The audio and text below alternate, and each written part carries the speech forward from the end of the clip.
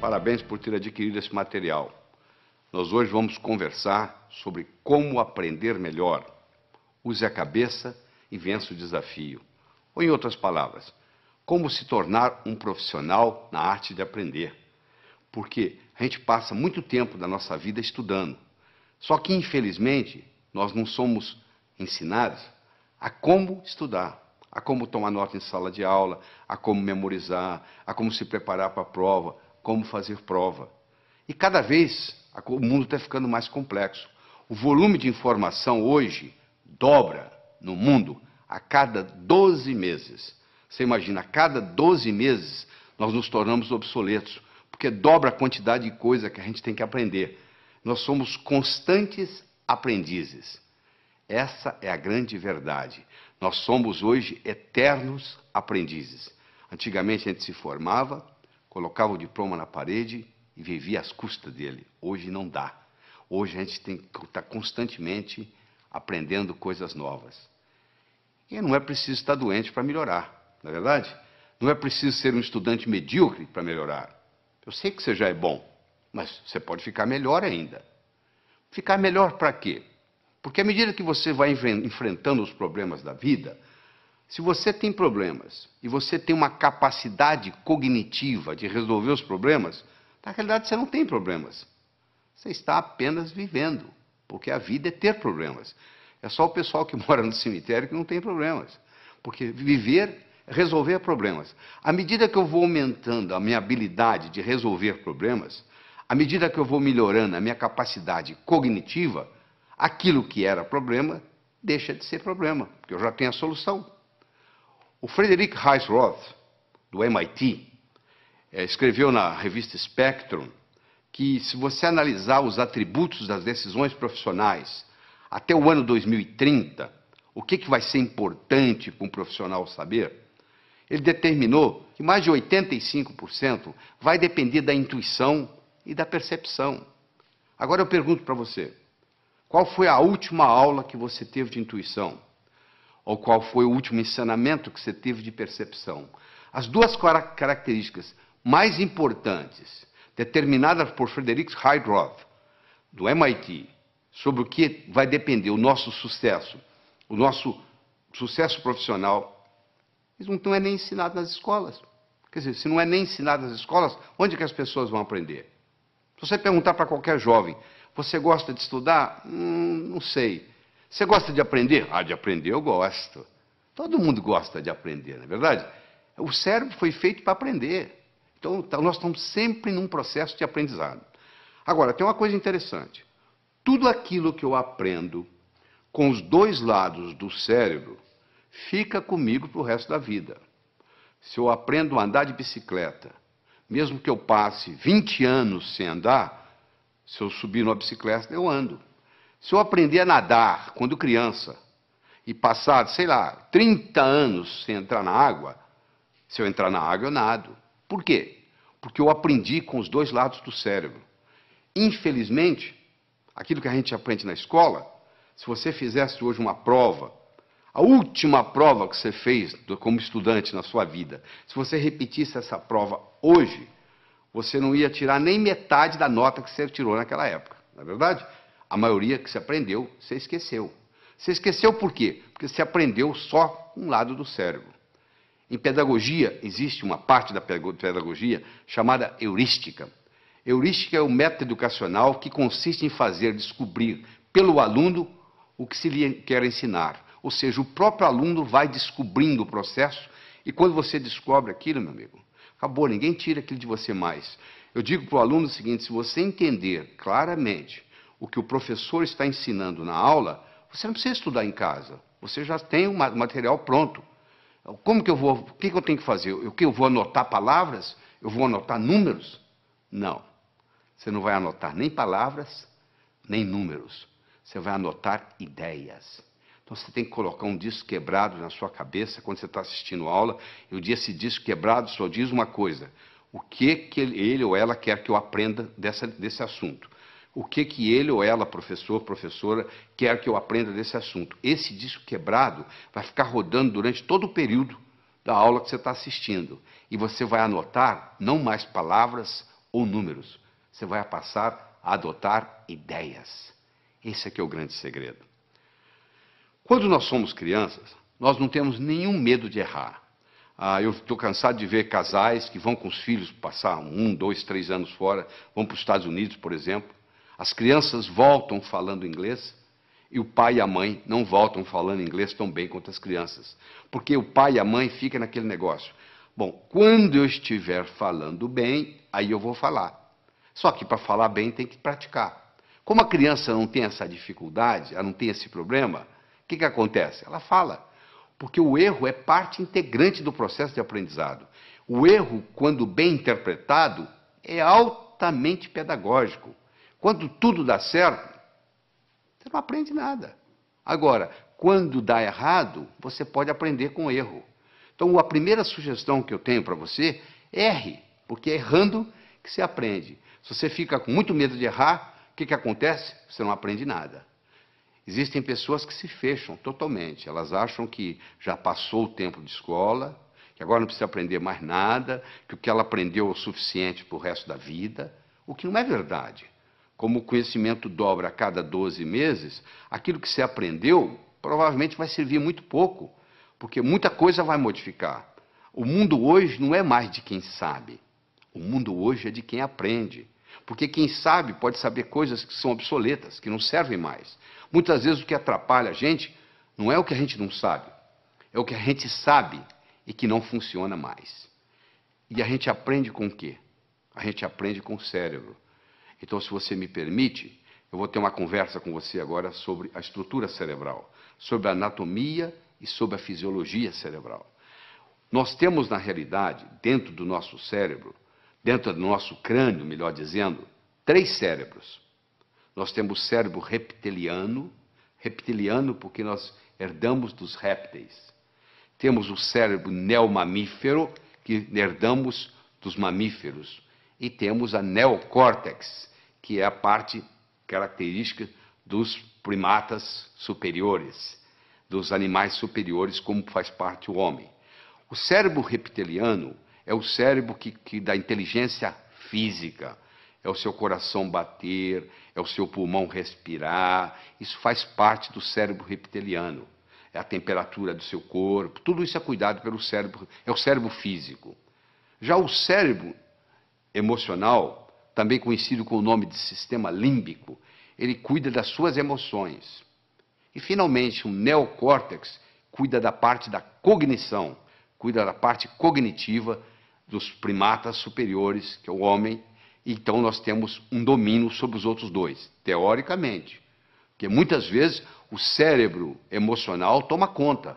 É aquele indivíduo tranquilo, que não reage a nada, e de repente, num trânsito, num dia de movimento, num engarrafamento, ele sai do carro dele e mata alguém. Aí ele teve o que se chama um sequestro amigdaliano.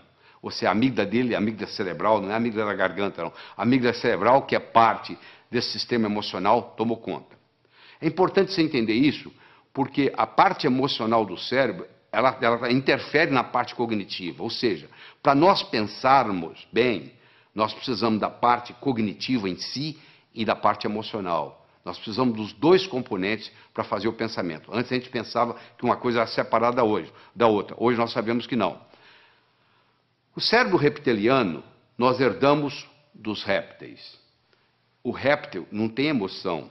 Se você tiver um jacaré ou uma serpente como, como animal de estimação, se você ficar 15 dias fora de casa, ela não vai ficar com saudades. Você não vai chegar, ela vai banar o rabinho como o seu cachorro faz. O seu cachorro não. Se você tem um cachorro, ele já tem uma estrutura límbica. Esse vai sentir saudades. Esse vai ficar alegre na hora que você chega. E o neocórtex, teoricamente, é para controlar tudo isso aí. Pra, teoricamente, para controlar. Às vezes não controla. Esse neocórtex ele se divide em dois hemisférios. O hemisfério esquerdo, que é lógico, que é matemático, que é verbal, que é digital, e o hemisfério direito, que é analógico, que é visual, que tem que é intuitivo. É mais ou menos assim, um passarinho para voar precisa de duas asas.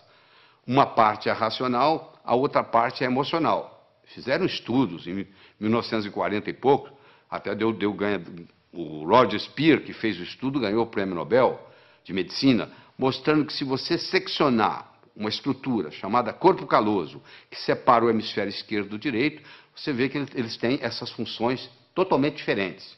E quando cerrado, quando cortado o corpo caloso, eles começam a trabalhar de uma forma independente e às vezes muito problemática. Alguns dos pacientes comissurotomizados, chamava-se comissurotomia essa cirurgia, eh, um deles não conseguia sair de casa. Ele abotoava a camisa com a mão direita, desabotoava com a mão esquerda, abotoava com a mão direita, desabotoava com a mão esquerda. Porque um cérebro não coordenava com o outro. No cérebro está armazenada a nossa inteligência, que nos diferencia dos outros animais. O que é inteligência? Eu estou perguntando para você agora. O que, você acha que é inteligência? Qual seria a sua definição de inteligência? Deixa eu lhe dar uma definição de trabalho. Inteligência é a habilidade em fazer distinções, fazendo visível o invisível e com isso podendo intervir. Se alguém estiver envenenando a minha água com arsênico e eu não sei, eu vou continuar tomando a água e posso morrer envenenado. Eu só vou parar de tomar a água se eu tiver consciente de que, ela tá, que eu estou sendo envenenado. Ou seja, na hora que eu fiz a distinção que eu estava sendo envenenado, que eu parei de beber água. Aquele que pode ver o invisível pode fazer o impossível. O que, que eu quero dizer com isso? Se eu consigo ver algo que você não consegue, eu consigo fazer algo que você não consegue. Dá uma olhada nessa imagem que está aí na tela. O que, que é isso aí? Se você nunca leu um livro meu, se você não leu o meu livro Sucesso Não Ocorre Por Acaso, provavelmente você está vendo aí borrões de tinta. Eu vou dizer para você, tem mais que borrões de tinta aí. Aí tem uma vaca Aliás, uma novilha Nelore. Olha aí para você ver. Agora você viu, né? Sabe por que, que você viu? Porque eu lhe dei o referencial. Você está vendo as orelhas, os olhos, o focinho. Está aí a vaca. Agora que você viu, agora que você tem o referencial, agora eu posso tirar o referencial daí, eu vou tirar. Continue olhando para os olhos da vaca. Olha que interessante. Agora você consegue ver a vaca.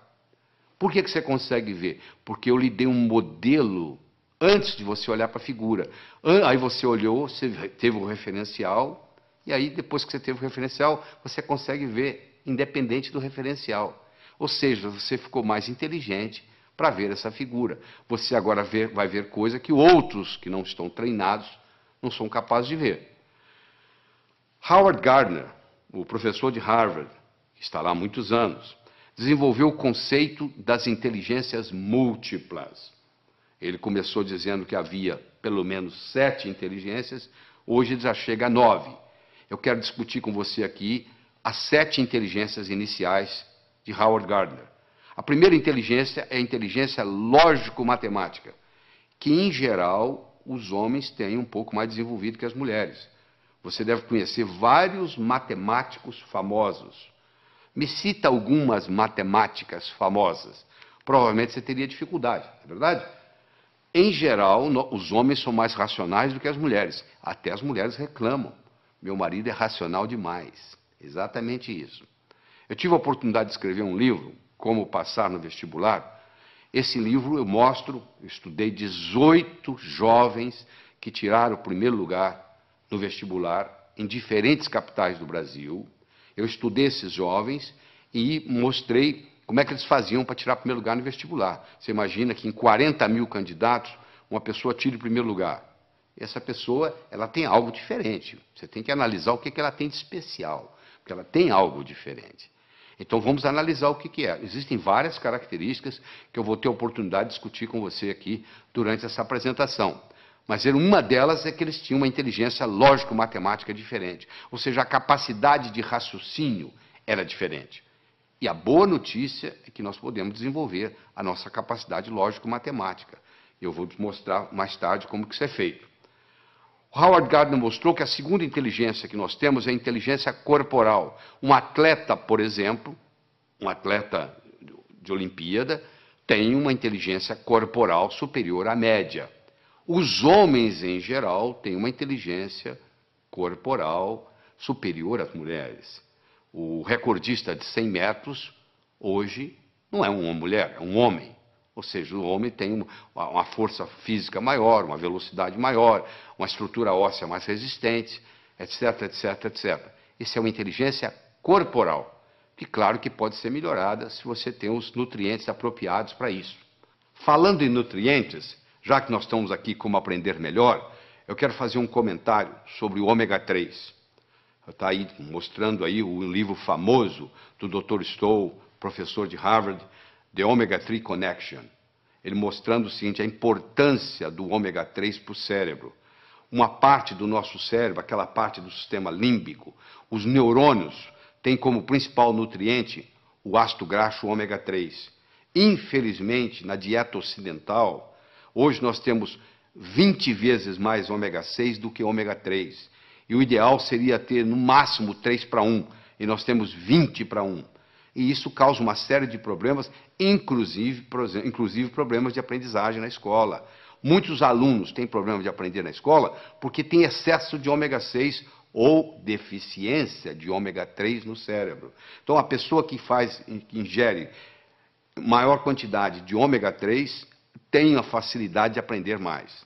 Você, se você tem filho que está na escola, pode checar isso. Se o seu filho começar a fazer uma dieta onde aumenta a ingestão de ômega 3, ele vai melhorar na escola.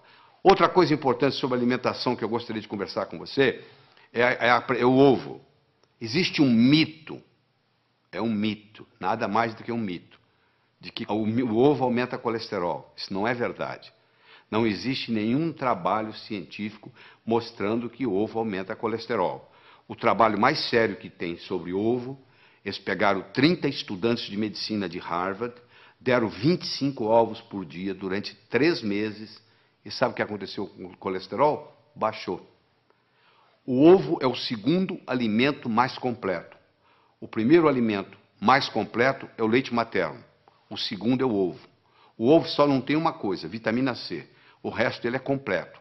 Então, se você quer melhorar a sua capacidade de aprender, passe a fazer o uso mais frequente de ovos. Claro que se você fritar o ovo, o que vai causar problema não é o ovo em si, mas a fritura. Então, se você ingerir um ovo frito, se causar algum problema, não é por causa do ovo. Não culpe o ovo. Não tem nada a ver com o ovo, é a gordura que você está fritando. E eu gostaria de, en passant, fazer um comentário aqui que hoje existem as chamadas smart drugs. Existem hoje medicamentos, claro você tem que procurar seu médico, conversar com seu médico sobre isso, mas existem hoje medicamentos que são capazes de ajudar a aumentar a inteligência. Hoje, com, a neurociência, mostrou-se vários nutrientes cerebrais que podem aumentar a inteligência, a capacidade de raciocínio, a concentração. Tudo isso pode ser feito, claro que tem que ser feito sob orientação médica. Eu não vou citar aqui nenhum medicamento. Você procura o seu médico, conversa e diz: Ó, fiquei sabendo que existe uma coisa chamada smart drugs. Ou melhor, entra na internet, entra no Google, digita lá smart drugs, você vai ver que existe uma série de ingredientes, hoje específicos, para você aumentar sua capacidade cerebral, é, fazer prevenção de Alzheimer, etc, etc, etc. Bom, vamos voltar aqui à nossa, nossa inteligência. Nós já falamos de inteligência lógico-matemática, já falamos de inteligência corporal. Eu gostaria agora de falar de duas que reunidas formam o que se chama inteligência emocional, que é a intrapessoal, que é de você para com você, e a interpessoal, que é de você para com os outros, ou seja, a sua inteligência comunicativa. A inteligência intrapessoal feminina é superior à inteligência intrapessoal masculina.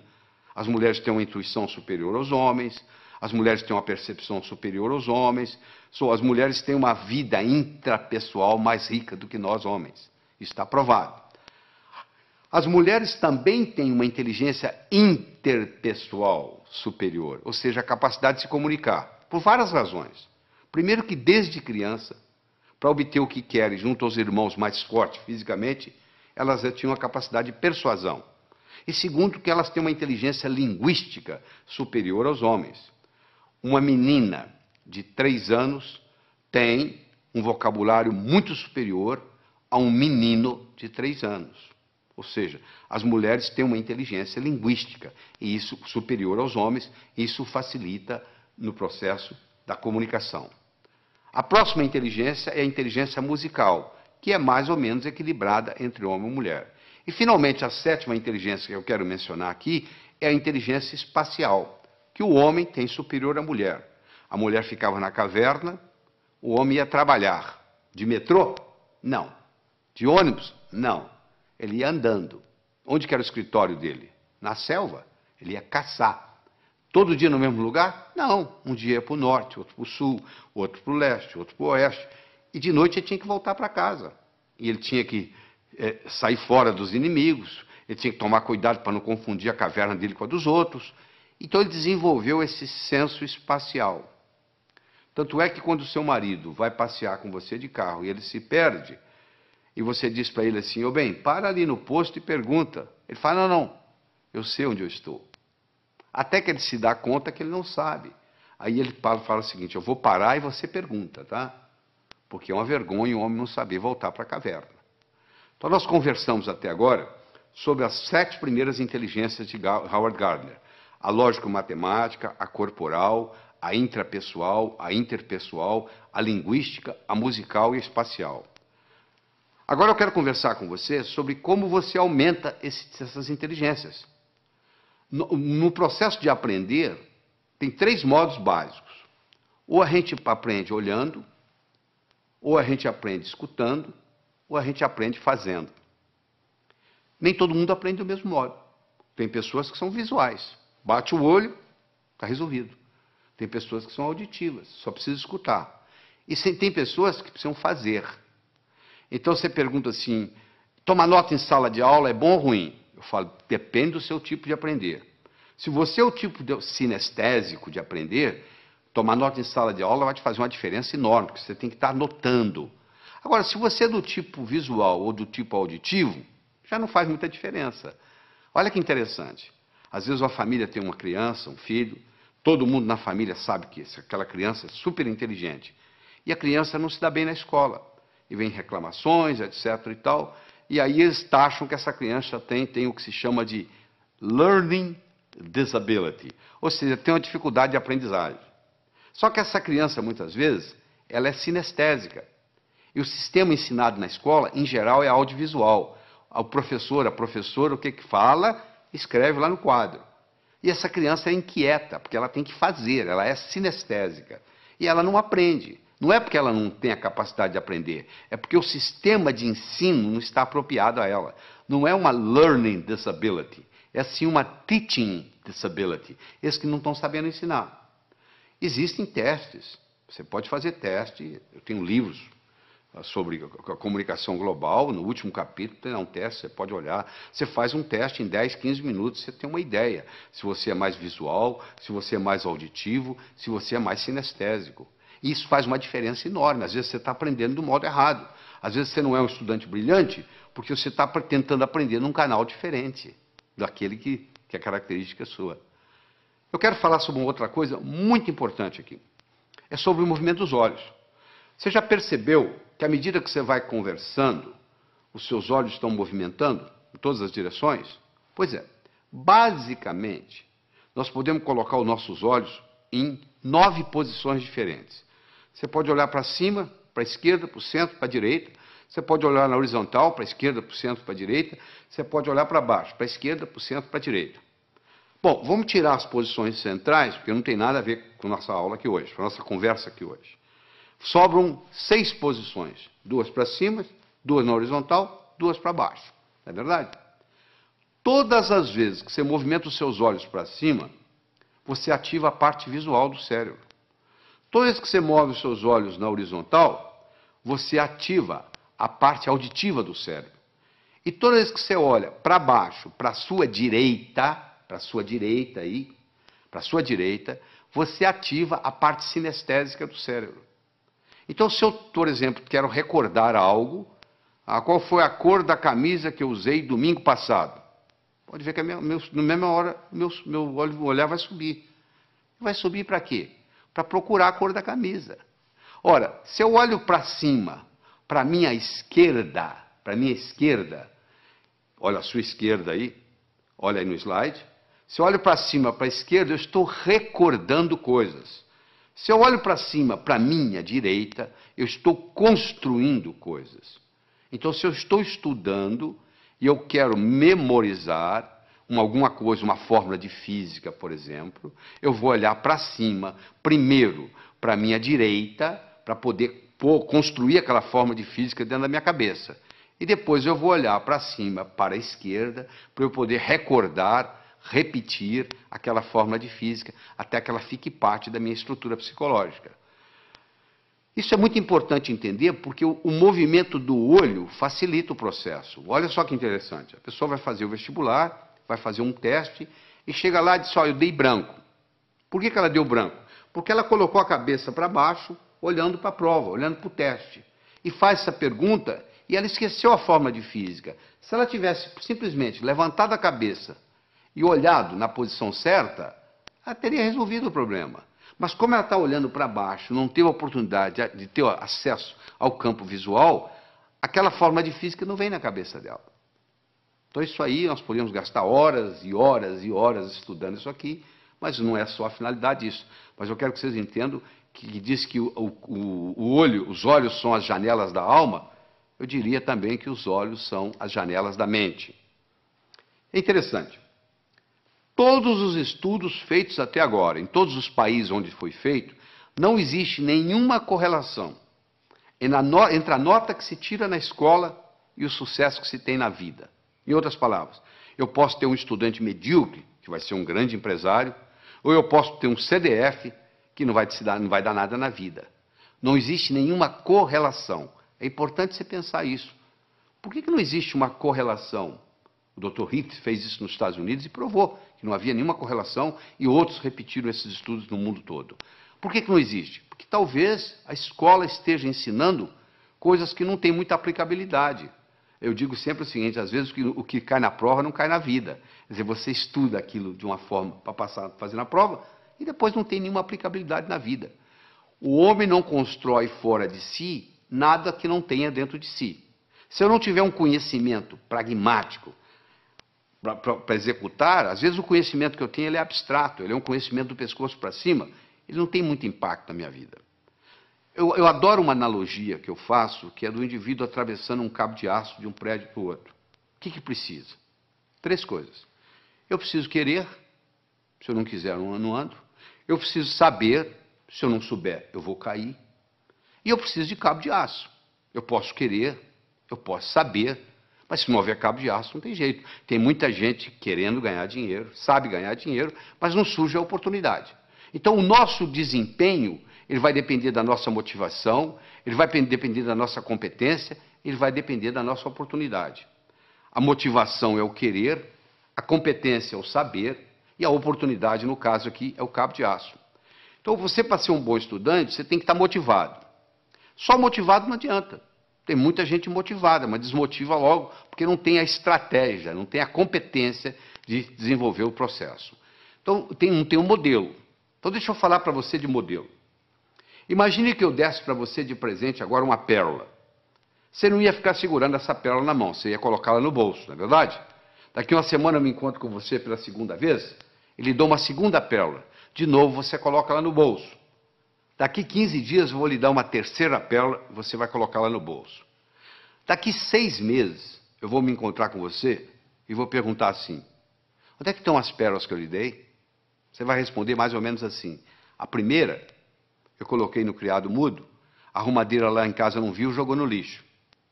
A segunda eu esqueci no bolso da calça, a calça foi para a lavanderia, voltou sem pérola. E a terceira eu escondi de mim mesmo, guardei tão bem guardado que eu não sei onde eu coloquei. Não é verdade? Se eu desse para você, antes de lhe dar a pérola, eu desse para você um fio de nylon e orientasse você para colocar as pérolas no fio de nylon, você ia fazer um colar. Se você colocasse esse colar no pescoço, e daqui seis meses eu me encontrasse com você e perguntasse onde estão as pérolas que eu lhe dei, você ia dizer: estão aqui, eu fiz delas um colar.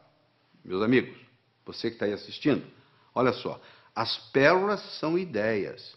O cemitério está cheio de gente que teve boas ideias. Ou não fez nada com elas, ou estragou a vida. Eu já vi muita gente estragar a vida por causa de uma boa ideia. Se eu tiver uma boa ideia, mas não tiver um modelo por trás, é um desastre. Então, a melhor definição que eu conheço de educação é a seguinte: educação é aquilo que fica depois que você esqueceu tudo que você aprendeu. O que, que fica? Ficam modelos. Tá bom? Eu vou demonstrar isso para você agora. Você vai olhar essa figura que está aí na tela. Você vai concentrar nesses quatro pontinhos que está entre os dois olhos, os dois corações aí.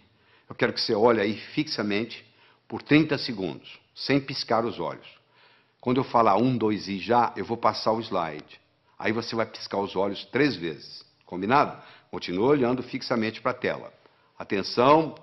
Um, dois e já! Pisca os olhos. Isso, eu vou lhe dar uma chance, não fique tranquilo. Eu vou lhe dar mais uma chance, tá? Você vai focar aí, foca. Quando eu falar um, dois e já, você vai, eu vou passar o slide e você pisca os olhos três vezes. Combinado? Atenção, um, dois e já! E aí, o que, que, você viu? Você está vendo a imagem de Jesus Cristo? Mas essa tela está em branco, não tem nada. Você está tendo a experiência de uma realidade virtual. Isso que está acontecendo aí, uma realidade virtual. Mas se você não tivesse visto antes esse slide, você não ia ver essa realidade virtual. Ou seja, eu tive que primeiro criar no seu cérebro um modelo de contraste para depois você poder ver isso. Entendeu como é que funciona a coisa? Então, quando eu tenho um modelo, fica fácil eu identificar. Eu vou confirmar isso agora com você. Escolha qualquer número, pode escolher o que você quiser. Pega um papel, uma caneta para você fazer esse exercício, se for o caso. Eu quero que você escolha qualquer número entre 17 e 77. Quero que você acrescente 7 a esse número. Acrescentou? Muito bem. Eu quero que você multiplique a soma por 2. Então você vai escolher um número entre 17 e 77, você vai acrescentar 7, você vai multiplicar a soma por 2, dessa soma você vai subtrair 4. Aí agora você divide o resultado por 2. Então você escolheu o número, você acrescentou 7, você multiplicou a soma por 2, você subtraiu 4 e você dividiu o resultado por 2. Agora você subtrai o número original. Subtraiu? Pois é, você sabe qual é o resultado? Você falar não que eu já sei. 5. Sabe por que, que eu sei? Porque eu criei um algoritmo cujo resultado dá 5. Quer ver? Olha só, eu criei um, um algoritmo assim: você escolhe um número X, se acrescenta 7 a esse número, tá certo? Aí você pega esse resultado, x mais 7, multiplica por 2, dá 2x mais 14. Você pega esse 2x mais 14, você tira 4, dá 2x mais 10. Você pega esse 2x mais 10, multiplica, divide por 2, dá x mais 5. Você tira o número original, que é x, o que, que sobra? 5. Não é mágica, não, isso é tecnologia. O resultado vai dar 5, não tem nenhuma dúvida. Então, eu criei um algoritmo cujo resultado é 5. Do mesmo modo que eu posso criar um algoritmo para ter sucesso profissional, e o resultado vai ser sucesso. Então, quando eu tenho um algoritmo, quando eu tenho um programa testado e eu coloco aquilo na minha estrutura psicológica, o resultado é muito simples. Quer ver? Eu vou fazer mais um teste com você. Eu quero que você conte quantos triângulos você consegue ver nessa figura. Eu sei que tem triângulos mais variados. Ó. Tem o triângulo AG, AGB, tem o BHC, e assim vai se nós pudéssemos ficar aqui uma meia hora conversando, você ia começar a descobrir triângulos para cá. Você diz, peraí, tem um triângulo aqui que é o ADB que eu não contei. Ih, peraí, tem o AEB. Olha, vai, vai, vai aparecendo, vai aparecendo, vai aparecendo. E eu quero saber se hoje o salário seu desse mês depende de você descobrir quantos triângulos tem aí. E eu vou obter resultados diferentes, dependendo do aluno que tiver, ou quem estiver fazendo isso. Mas se eu lhe der um modelo que eu vou dar agora, olha só que bonito nós temos 10 triângulos simples. Olha lá, o triângulo AGB, BHC, CHI, CID, DIJ, DJE, EJF, EFA, AFG e chega no, no AGB. Ou seja, você conta, tem 10 triângulos simples. Muito bem. Tem 10 triângulos duplos. O que é triângulo duplo? Eu tenho um triângulo que é o AHB, que é um triângulo duplo, ele tem dois dentro dele. Eu tenho um triângulo que é AFB, ele também é duplo. Em cada base eu tenho duplos. Se eu tenho cinco bases, 5 vezes 2, 10, eu tenho 10 triângulos duplos. Eu tinha 10 triângulos simples. Agora eu tenho 10 triângulos duplos. Eu tenho cinco triângulos grandes, como o ADB, como o BEC. E assim vai. Você vai como CAD. São triângulos grandes, são cinco. Então eu tinha 10, com mais 10, 20, com mais 5, 25. Eu agora tenho os chamados triângulos triplos. O ABC é um triângulo triplo. O BCD é um triângulo triplo. E cada triângulo triplo, no seu oposto, tem um outro triângulo. O triângulo triplo ABC tem o AJC. Olha aí. O triângulo triplo BCD tem o BFD. Isso, como eu tenho 5, 5, 10. Então eu tenho um total de 10. Eu tenho 10 simples, 10 duplos, 5 grandes e 10 triplos. Eu tenho 35 triângulos. Mas eu perguntei quantos triângulos você conseguia ver nessa figura. Se você olhar a letra A, dentro dela existe um triângulozinho. Então a, a, a resposta certa seria 36. Isso não é pegadinha. Esse cuidado com a pergunta que é feita. Por isso que muita gente não passa no vestibular. Parece que a pergunta é pegadinha. Não. Quantos triângulos você consegue ver nessa figura? Dentro da letra A tem um triângulo, que é aquele triângulozinho que você está vendo lá. Então o total seria aí 36. Agora que você aprendeu a contar os triângulos simples, os duplos, os triplos, os grandes e o que está nas letras, pronto, agora você criou um modelo de como contar triângulos. A sua inteligência para contar triângulos aumentou. Você deve estar perguntando, mas o que isso tem a ver? O que, que vou fazer na vida se eu aumentei minha inteligência para contar triângulos? Não, eu estou dando um exemplo. Do mesmo modo que você aumentou a sua capacidade de contar triângulos, se eu lhe der modelos outros, que nós vamos estar dando aqui durante essa apresentação, isso vai melhorar tremendamente o seu estudo. Eu mencionei que eu escrevi um livro chamado Como Passar no Vestibular. Esse livro foi fruto de um trabalho onde eu trouxe a São Paulo 18 jovens que tiraram o primeiro lugar no vestibular em diferentes capitais do Brasil. Eu trouxe 19 professores de cursinho, com pelo menos 15 anos ensinando gente a passar no vestibular, e vários vestibulandos, primeiro aluno de turma de grandes cursinhos em São Paulo. Durante 12 horas, nós respondemos apenas uma pergunta: o que, que faz um jovem passar em primeiro lugar no vestibular? E depois de toda essa análise, nós descobrimos três coisas básicas que existem em todos os que passam em primeiro lugar. Primeiro é a autoconfiança. Só a autoconfiança não faz você passar no vestibular. Sem autoconfiança, você não passa no vestibular. Então, nós vamos ensinar a desenvolver a autoconfiança. Isso é importante. Aquele branco que dá na prova, muitas vezes, é falta de autoconfiança. Então, autoconfiança é fundamental todos esses jovens que passaram em primeiro lugar no vestibular tinham confiança de que iam passar no vestibular. Essa é a primeira coisa. Segundo, todos eles tinham motivação para estudar. O, o, o, vestibular não era um obstáculo, era uma etapa, porque a, a, a visão deles estava lá na frente. O que, que, eles iam fazer depois de formado? Eles já estavam pensando lá na frente. E aquele vestibular era nada mais, nada menos do que uma etapa, e não um obstáculo. E todos esses 18 jovens que tiraram o primeiro lugar, eles tinham estratégia em tomar nota em sala de aula, estratégia em se preparar para a prova, estratégia em fazer prova, estratégia em estudar em casa, tudo isso, estratégia em ler, estratégia em memorizar, todos, os, todos eles, sem exceção, usavam mnemônicos, usavam um processo de memorização, provando que todos nós temos uma ótima memória. Às vezes nós não sabemos usar essa memória. A Helen Keller, que, como você sabe, era, era surda, era cega, e etc, etc, etc, e acabou sendo uma grande escritora, eu recomendo você ler a biografia de Helen Keller, que é fabulosa, ela tinha uma frase famosa que ela dizia assim: Jamais alguém concordará em rastejar se sentir um impulso para voar. Todo ser humano tem um impulso para crescer. Faz parte do espírito humano. Você, a pessoa nunca chega e fala, eu quero piorar. Todo mundo está querendo melhorar, não é verdade? Você, eu, todos nós estamos querendo melhorar. Agora, que infelizmente, uma pequena minoria consegue isso, que a maioria navega na vida, a deriva. Por quê? Porque lá na, na escola o professor não soube ensinar a pessoa como estudar. Porque já que você vai estudar tantos anos, já que você vai depender de tudo isso, da leitura, tanto tempo, nós brasileiros lemos numa velocidade muito lenta. Nós, vamos, nós, temos um problema muito grande com leitura. E eu vou ter oportunidade de discutir isso aqui com você. Mas deixa eu começar a desenvolver com você a, a inteligência lógico-matemática. Então eu tenho um probleminha aí, olha que bonito. Nove executivos se encontram para a discussão de um projeto. Antes da reunião se iniciar, eles se cumprimentam, cada um apertando a mão de todos os outros. Eu quero saber quantos apertos de mão ocorreram. Isso é um problema simples que já caiu no vestibular. É uma coisa simples. Você tem nove executivos, cada um vai apertar a mão do outro, e eu quero saber quantos apertos de mão. Por onde você começa? Bom, então vamos ver? Coloque-se lá dentro. Você é um deles. Ora, se são nove, você é um dos nove. Você não vai apertar a mão de você mesmo. Você vai apertar a mão de oito. Não é verdade? Ora, se você vai apertar a mão de 8, cada um vai apertar a mão de 8. Ora, se são 9, cada um apertando a mão de 8, 9 vezes 8, 72. Só que quando eu aperto a sua mão, você aperta a minha. Então eu tenho que dividir isso por 2. São 36 apertos de mão. Ah, que beleza, quer dizer que é assim? E se fosse 8? Vamos pegar 8 executivos. Bom, se são 8 executivos, cada um não vai apertar a própria mão, ou seja, vai apertar a mão de 7.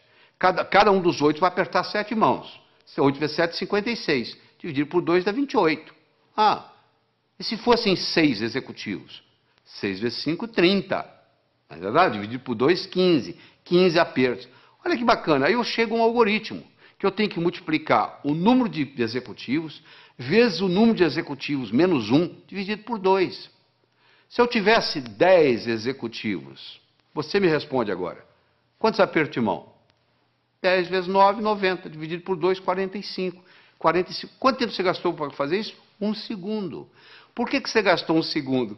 Porque eu criei no seu cérebro um algoritmo. De repente, nesse assunto, você ficou mais inteligente. Se eu começo a criar algoritmos básicos para você, esses algoritmos básicos vão criando, vão aumentando a nossa inteligência lógico-matemática.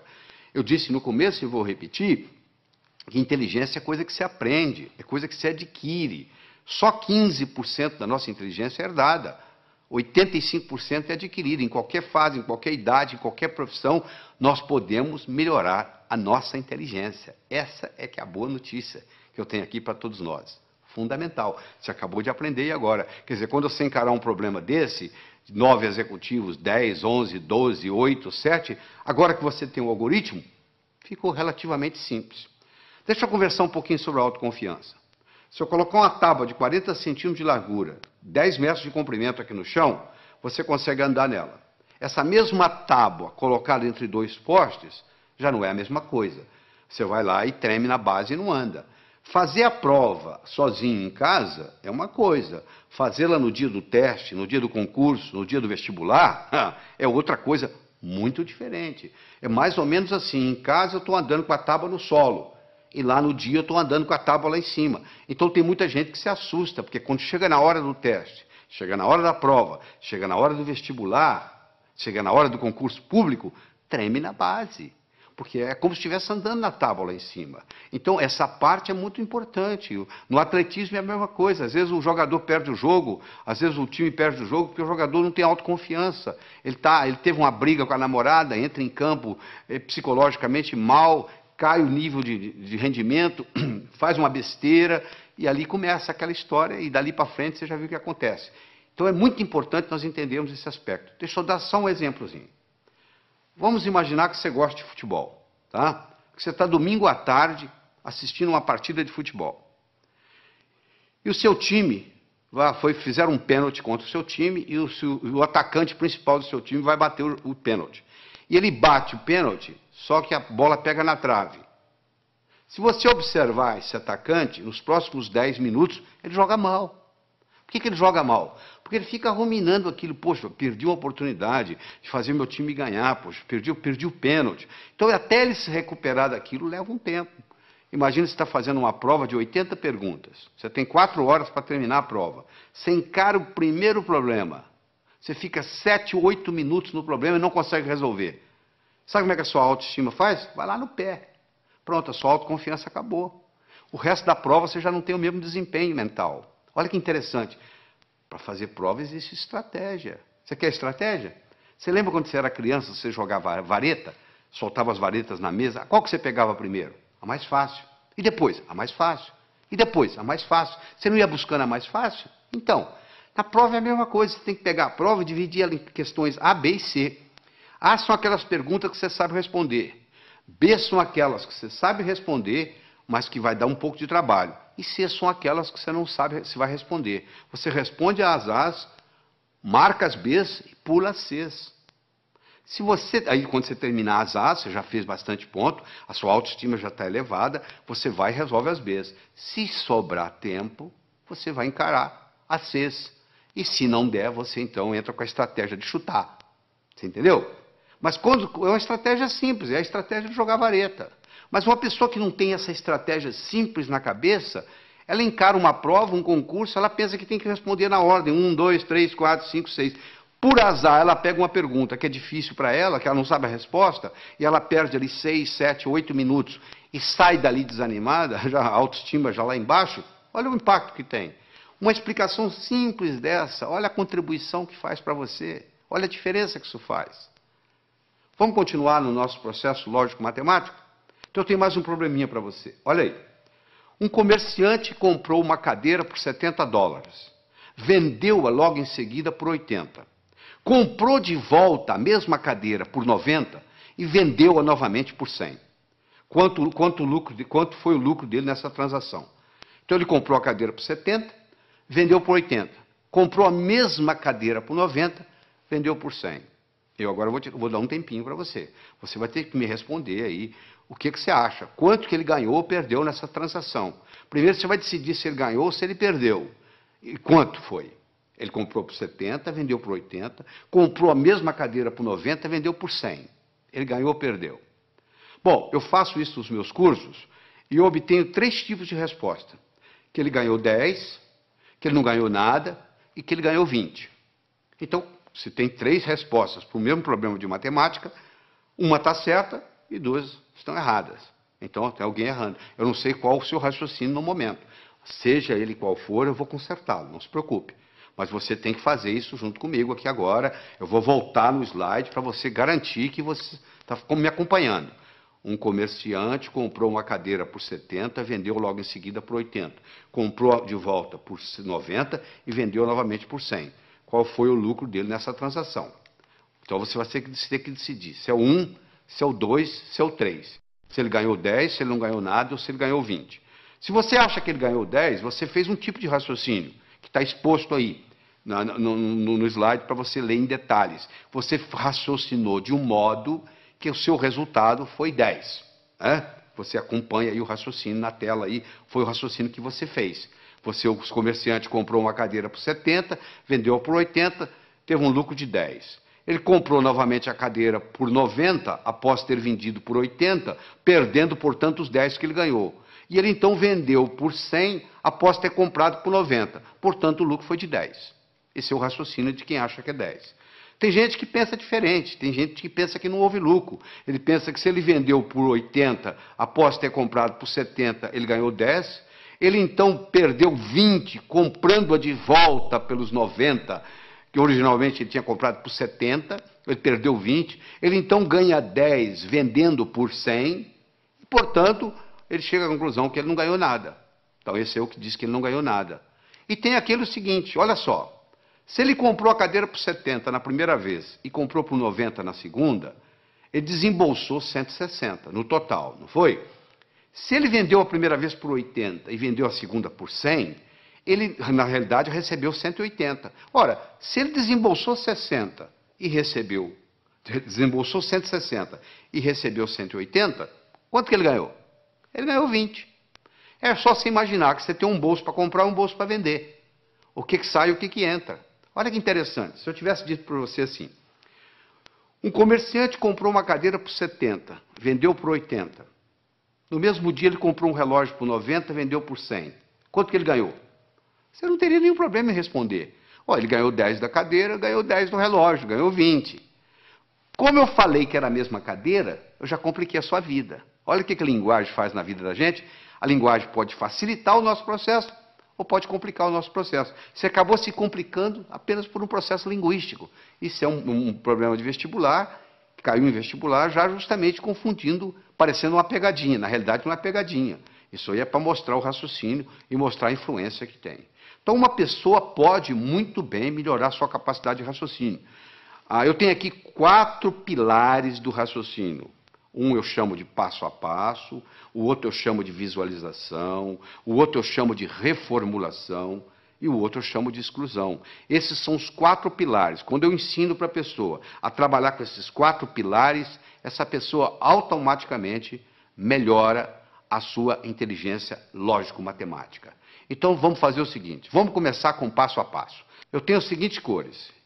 Eu, eu gosto do laranja mais do que eu gosto do vermelho. Eu gosto do verde menos do que eu gosto do azul. Eu gosto do azul menos do que eu gosto do anil. Eu gosto do vermelho menos do que eu gosto do violeta. Eu gosto do verde mais do que eu gosto do amarelo. Eu gosto do violeta mais do que eu gosto do anil. E eu gosto do laranja menos do que eu gosto do amarelo. Qual a minha cor favorita? Olha que eu tenho aqui só sete cores. Imagine se eu tivesse 70 e fizesse esse raciocínio. Olha onde que você chegaria. Você pode começar a trabalhar nisso aí, se você vai ficar, tem gente que leva meia hora, uma hora e não consegue chegar à conclusão, porque não pegou o modelo ainda. Eu vou lhe ensinar o modelo, você vai resolver isso em 10 segundos. Porque é muito simples. Olha como é que o modelo é simples. A primeira está escrita assim: eu gosto do laranja mais do que do vermelho. Então, laranja passa a ser a minha cor favorita. Eu vou procurar onde é que tem laranja. Vai lá, lá no 7 tem laranja. Lá está dizendo que eu gosto mais do amarelo do que do laranja. O amarelo passa a ser a minha cor favorita. Eu vou procurar onde tem amarelo. Eu vou lá no 5, tem amarelo. Eu gosto do verde mais do que do amarelo. O verde passou a ser a minha cor favorita. Vai lá no 2, onde está o verde. Olha lá. Eu gosto do verde menos do que do azul. O azul passou a ser a minha cor favorita. Eu vou onde tem azul. Eu vou lá no 3, tem azul. Eu gosto do azul menos do que eu gosto do anil. Anil passou a ser a minha cor favorita. Eu vou lá no 6, olha lá. Eu gosto de violeta mais do que eu gosto de anil. Violeta passou a ser a minha cor favorita. Eu vou lá no 4, onde tem violeta, e confirmo. O violeta gosto mais do que o vermelho. Com a conclusão que eu cheguei, a minha cor favorita, favorita é o violeta. Olha que bacana. Na hora que eu criei esse esquema, pronto, agora ficou fácil. Eu tenho um modelo. Sabe por quê? Eu aprendi a pensar passo a passo. Esse é um jeito. É aprender a pensar passo a passo. Você já deve ter aprendido o teorema de Pitágoras, né?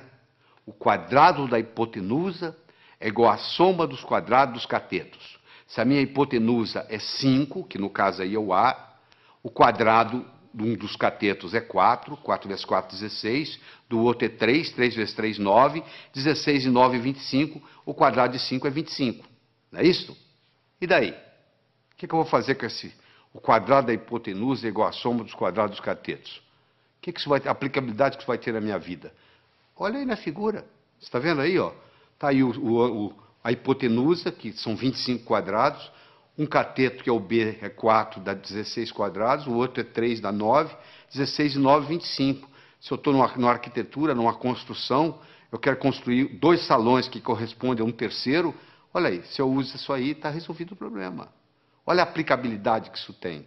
Agora que você visualizou, você entendeu a aplicabilidade, agora você tem motivação para aprender. Então, uma coisa é o passo a passo, outra coisa é a visualização. O terceiro pilar do pensamento é a reformulação. Quanto que é dois terços de uma metade? Você sabe? Dois terços de uma metade. Ah, metade de dois terços é um terço. Então, você reformulou, mudou a ordem e resolveu. Às vezes você não resolve o problema porque você não está sabendo reformulá-lo. Você reformulou, você está numa prova, reformula o problema. Às vezes você não resolve daquele jeito. Você tem dificuldade em dizer quanto é dois terços de uma metade, mas você não tem dificuldade em dizer quanto é metade de dois terços. Falou? E finalmente, nós vamos conversar sobre o pilar da exclusão. Eu tenho aqui um probleminha muito simples. Você vai pegar os, os números 1, 2, 3, 4, 5, 6, 7, 8, 9. Vai colocar nesse, nesses nove quadrados que estão aí de tal forma que, se eu somar na horizontal, somar na vertical ou somar na diagonal, tem que dar 15. Não interessa como eu somar, tem que dar 15. Bom, poxa, complicado? Não, não é complicado. Quer ver como é simples? Primeiro, qual que é o quadrado mais importante? O do meio. Porque ele participa da vertical, ele participa da horizontal, ele participa da diagonal. Ele é o que mais participa de tudo. Então, se eu resolver esse problema aí, eu resolvo praticamente 90% do problema. Qual o número que eu vou colocar aí? Eu não posso colocar o 1, porque se eu colocar o 1, vai ter um lugar que vai ter 2, 1 e 2, 3, para 15, 12. Eu não tenho 12. Eu não posso colocar o 1, não posso colocar o 2, porque o 2 também vai ter um lugar que tem 1. Eu não posso colocar o 3. Por que eu não posso colocar o 3? Porque se eu colocar o 3 aí, vai ter um lugar que tem 1. 3 e 1, 4. Para 15, 11. Eu não tenho 11. Eu não posso colocar o 4, porque se eu colocar o 4 aí, vai ter um lugar que vai ter 1. São 5. Para 15, 10. Eu não tenho 10. Eu posso colocar o 9? Não. Se eu colocar o 9 aí, tem um lugar que vai ter 8. 9, 8, 17, já passou de 15. E se eu colocar o 7? Também não pode. 9, 7, 16, já passou de 15. E se eu colocar o 6? 9, 6, 15. O que, que sobra para o outro? Eu não tenho zero. Então eu vou excluindo, excluindo, excluindo, você chega à conclusão que só tem um número para colocar aí, é o 5. Aí na hora que eu coloquei o 5 aí, ó, a coisa fica muito simples. Você pode fazer você mesmo aí, você vai ver aí que se você somar na horizontal, somar na vertical, somar na diagonal, o resultado dá sempre 15. Eu comecei o problema, você fala, ah, isso eu não consigo fazer. Não consegue, não. É porque você não tinha parado para pensar no processo da exclusão. Agora você tem o pilar da exclusão, da visualização, da reformulação, do passo a passo, e aí o processo vai. Então, nós já falamos, é importante você levar em consideração a motivação. Como é que você motiva? Você fica olhando a sua meta. E é uma coisa, gente, preparar para o vestibular, preparar para concurso, preparar para a vida, não é uma corrida de 100 metros. É uma maratona. Você conversa com um maratonista, a estratégia é bem diferente de correr 100 metros. Porque o maratonista, ele sabe que vai demorar a corrida. O corredor de 100 metros sabe que vai acabar logo. Eu acho que eu tenho que aprender para a vida. Eu tenho que manter isso na minha memória. E o que acontece com a maioria dos estudantes? Aprende, esquece, aprende, esquece, aprende, esquece.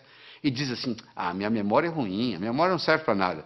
Não é só a memória que é ruim, é porque você não sabe usar a sua memória. Deixa eu lhe ensinar três segredos. A memória gosta de movimento. Uma coisa é eu pensar num cachorro parado, outra coisa é pensar num cachorro correndo. É totalmente diferente. Aquelas memórias que você tem na sua mente, elas estão lá na forma de filmes e não na forma de slides. Se você memoriza coisa parada, você esquece. Se você memoriza em movimento, você vai se lembrar sempre. Segundo, existem estudos mostrando que o professor que trabalha com giz de duas cores aumenta em 19% o desempenho da classe que ele está lecionando. Porque você usando mais de uma cor, você estimula outra área, outras áreas do cérebro. Se você trabalha só com preto e branco, você está trabalhando com a área esquerda, o seu hemisfério esquerdo do cérebro. Se você trabalha com colorido, outra cor qualquer, você está trabalhando com o lado direito. Então você procura estudar com, com a caneta de pelo menos duas cores. Terceiro, você tem que exagerar. Uma coisa é você pensar num cachorro, outra coisa é você pensar num cachorro do tamanho de um elefante. Ora, se eu vou guardar uma fórmula de física, eu imagino a fórmula de física do tamanho de um prédio. Eu coloco ela na minha cor favorita e eu ponho ela piscando. Ah, aquilo nunca mais sai da minha cabeça. Eu vou memorizar um telefone, eu imagino os números do tamanho de um prédio. Eu imagino os números coloridos, eu imagino os números piscando. Pronto, aquilo ali memoriza. Então não existe a história de memória ruim. Todos temos uma boa memória. Se você tem um carro novinho e você não sabe dirigi-lo, não vai ter nenhuma utilidade para você. Você não vai culpar o carro. É a sua habilidade de dirigir que tem que melhorar. A sua memória tem problema nenhum, só que você não sabe usá-la. Isso é diferente. Então ela gosta de movimento, ela gosta de cores, ela gosta de exagero, ela gosta de mnemônicos.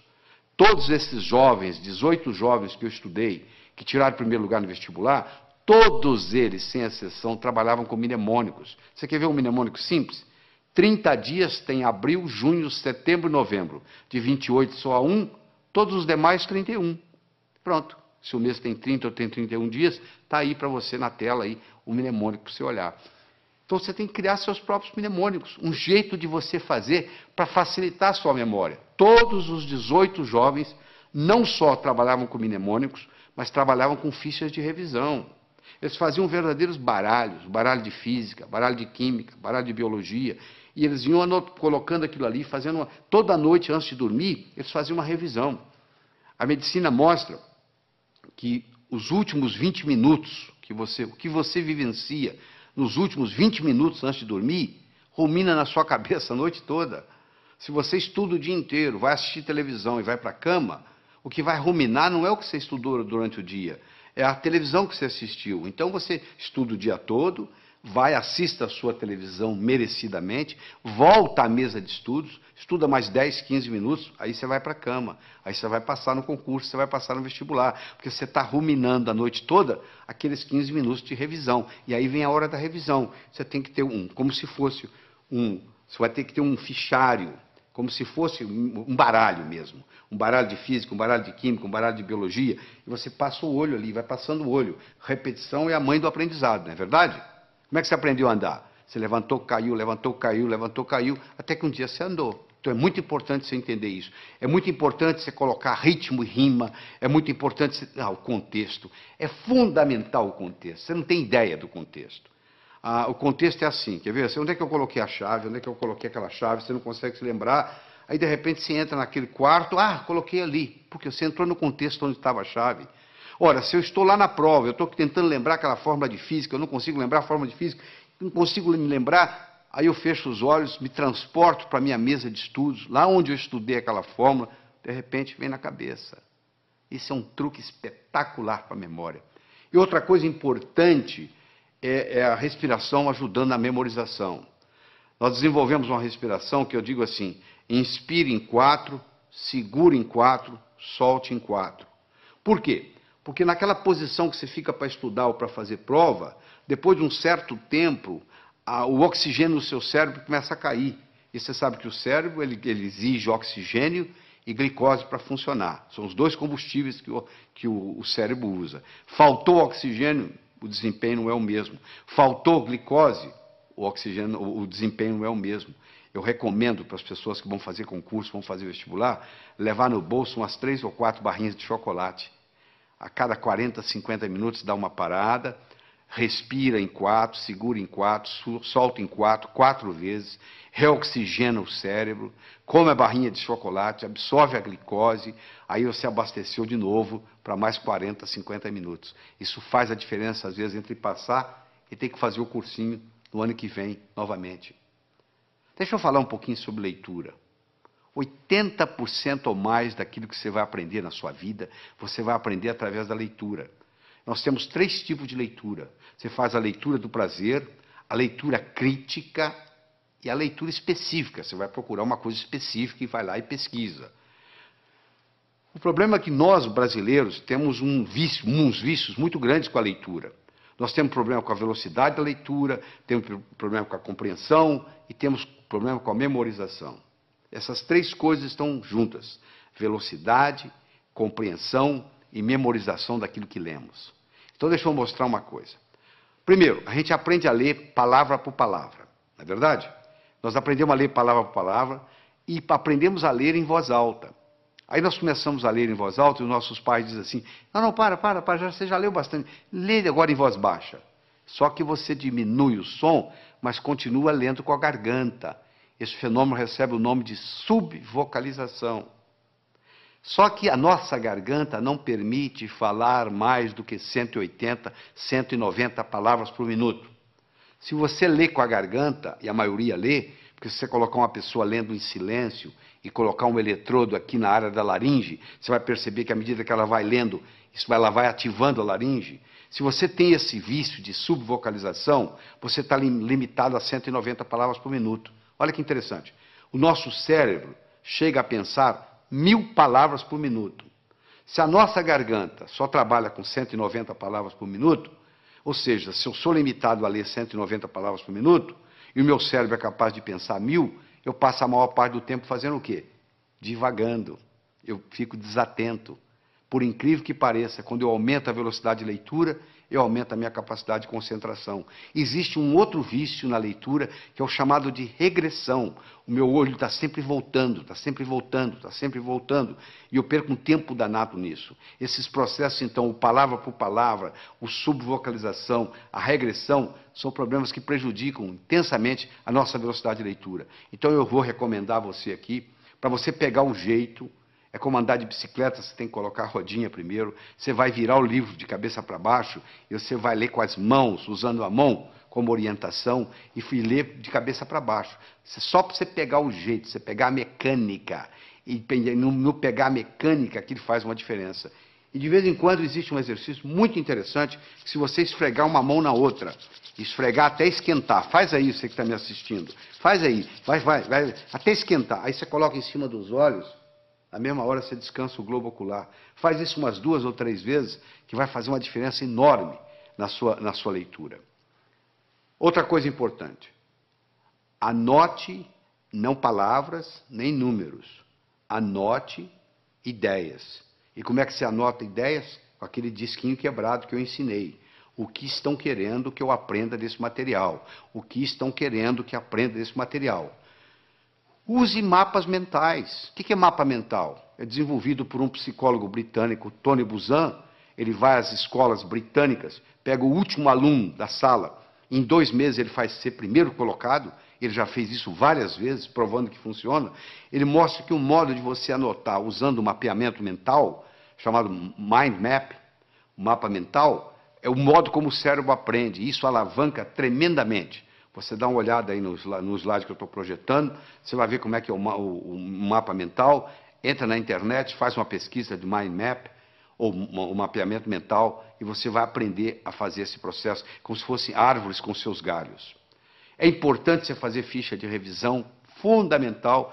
Às vezes uma ficha de revisão você pode colocar tudo que você precisa, todo o conhecimento, naquela ficha de revisão. E só de você bater o olho ali, aquilo vai reforçando, vai reforçando, vai reforçando, e geralmente você faz isso antes de dormir.